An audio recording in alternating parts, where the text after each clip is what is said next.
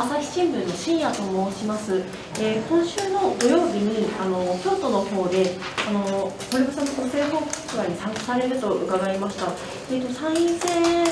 を意識してのことだと思うんですけれどもあの京都にの選挙区について、えー、吉野さん個人としてどのように位置づけられているか改めてお願いします。あの非常に重要な選挙区だというふうに思っています、えー、自民党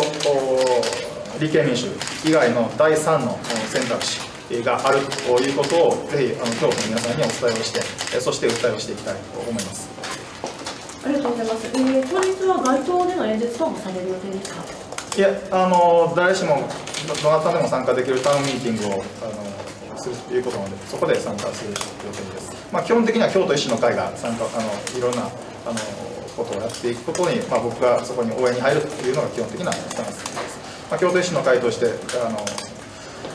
国際国会をされるという、まあ、その後あの京都の維新政治塾がありますので、えー、そこに自身も僕も講師として参加をする予定です。特にあの該当をすることは今のところ予定はしていません。ありがとうございます。ただまあミタウンミーティングもあの室内ですけれどもどなたでも参加できるということなので、まあ、場所が外か中かは違いはありますけどあの、まあ、京都の皆さんぜひ参加いただけたらと思います。ありがとうございます。京都以外で兵庫兵庫ですとか、府外の方に運転に行かれるご予定決まっているもの部分はありますか？今決まっているものは京都だけです。わかりました。ありがとうございます。ちょっと別件でもう一点お尋ねさせてください。ちょっと前なんですけど、5月4日のツイッターの投稿で、あの自衛隊の命は誰が守るのかという趣旨で言及される中で、あの日本は侵略されないための抑止力の確保有事を想定した軍民学友好の国防力が必要だという投稿をされていらっしゃいました。ちょっとごめんなさいこの軍民学友好っていう言葉について詳しくご説明していただいてもよろしいですか？あの国国防というのを考えたときに、えー、まあ、国防費これを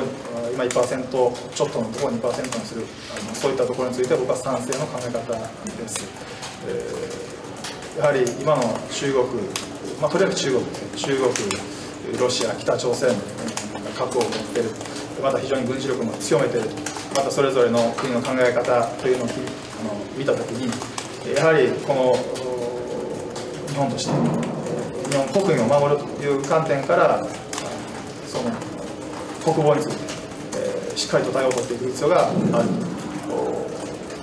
バランスが崩れてきているというふうに思っています。なので、えーまあ、このそれはこの20年、中国の人民解放軍がどれだけ力をつけてきたかというのを見たらもうすぐ分かる話なんですけれども日本はずっとあの現状維持というようなあの大きく増えるということ状況にもなっていません、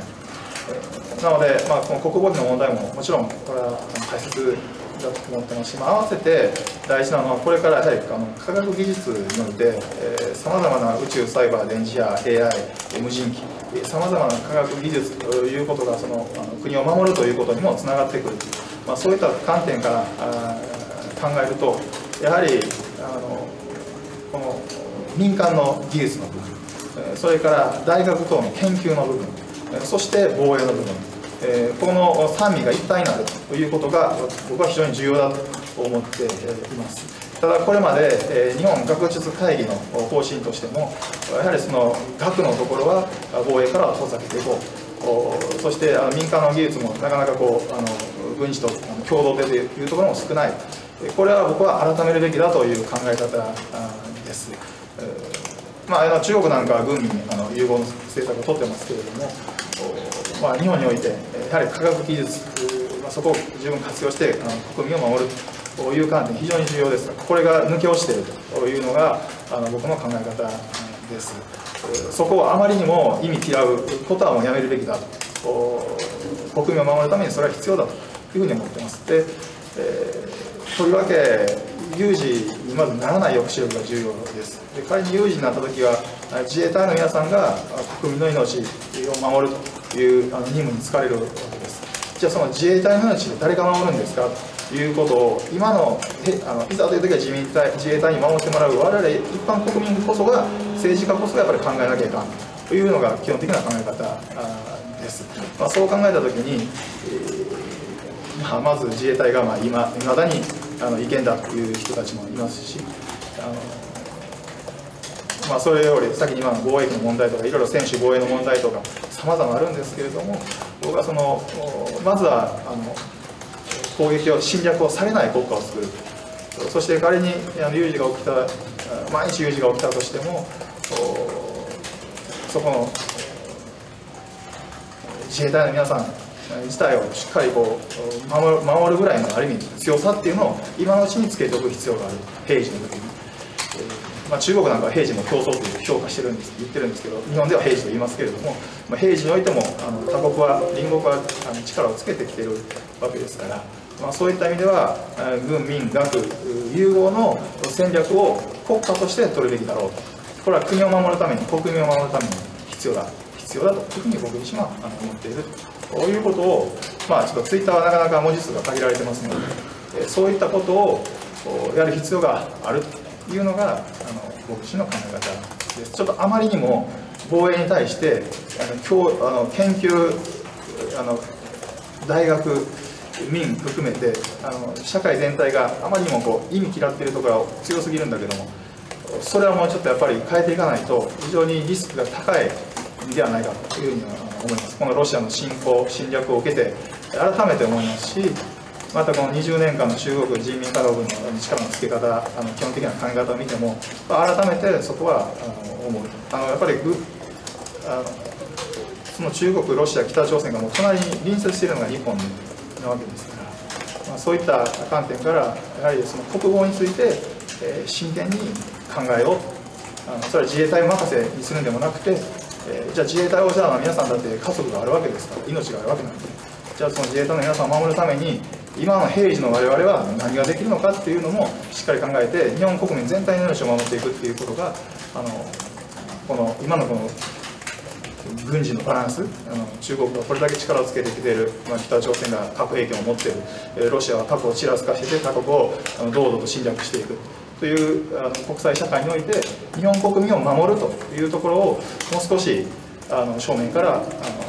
通っていかないといけないと思う。ということをツイッターで発信したということです。ここでも軍ということを使われていらっしゃいますが、これは自衛隊を自衛軍にすべきというお考えでもあるということですか？あの、まあ、海外から見て自衛隊はもう軍隊として見なされています。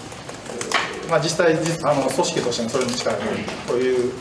ところなのであまり僕あの表現自体はそこまであのこだわっているわけではありませんがあのただやはりその憲法上これは陸海空軍その他の戦力がこれを保持しないと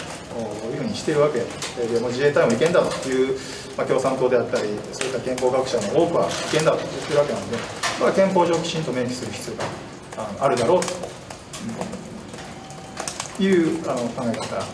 です。名称よりやっぱり中身の方が大事だと思ってますし、その存在そのものについてどう考えるのかということが非常に重要だというふうに思います。これまでその名称にこだわってきた日本の歴史があると思うんですけれども、その中で自衛軍か自衛隊かっていうことには、それはこだわりが、ご自身はないということで。うん、まあ、あの日本維新の会としてどうするかについては、あの党内であの議論して決めていこうかと思います。僕自身はあのそこの呼び方というよりもやっぱり中身が大切だろうという考え方です。あとはもう専守防衛という考え方。これで本当に日本を守れるのかまあ、行き継ぐところはやはり救助にやっぱり全て出発点に行き継いでくるのであのこの救助の体制これがあの重要だというふうに思っています。ありがとうございます。関連してなんですが、特に学の部分について、やはり今の日本の大学でそこまで防衛や軍事に関して直接的な研究をしているようなところって見受けないんですが、あの場合によってはこの大阪公立大学で防衛の研究を表立ってやるとか、そういったご自身もあの知識とはあの検討していきたいというあ大学大検討していきたいというあの日本学術会議、ここがまあ取りまとめてるわけですけれども、そこで行って、あのもうその防衛に関する研究についてはこれは距離をすごく取っているわけです。ここがあのボトルネックになってるわけですからここを変えないと何かこの一地方大学をどうするこうするという議論では僕はないと思います。まあ僕はそこが問題だと思います。だから日本学術会議において、えー、このいわゆるその学者の中にやっぱりいろいろ国を守るために防衛研究をする必要があるんじゃないかと。あるいはそういう技術っていうのが今 AI であったりいろんなあの量子技術であったりさまざまある中で、えー、それはあの民間にも当然役立てるしそれはあの防衛にも役立てることができるんじゃないかということで研究されている方もいらっしゃると思いますがただ全体とすれば日本学術会議が取りまとめて、えー、そして、えー、防衛についてはもう距離を置くというふうにしていること。これが今の日本の根幹なのでこの根幹部分をやっぱりもう改める時期に来てる、うん、僕はそういうふうに思っています。なのであのなんか一地方大学でどうこうするというような話ではないとは思います。国内の大学で防衛に関して研究する大学がいつか出てきてもいいということ。あ僕はいいいいと思うしただそれは日本学術会議がこのセンターピンとしてそれはもうやめましょうと言ってる中では難しいからここをどうするかの議論がまず一番大事だと思ってます。そこの議論抜きにして何か進むことはあのないと思います。何か当初と大かけそうはされる予定ありますまあ、今僕自身はそう思ってるので、あのまあ、党としてどうするかというのは、最後、党内議論で決めていくということになると思います。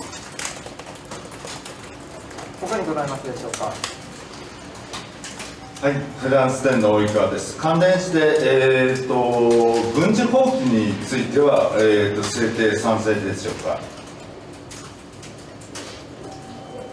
自衛隊を？自衛隊で、はい。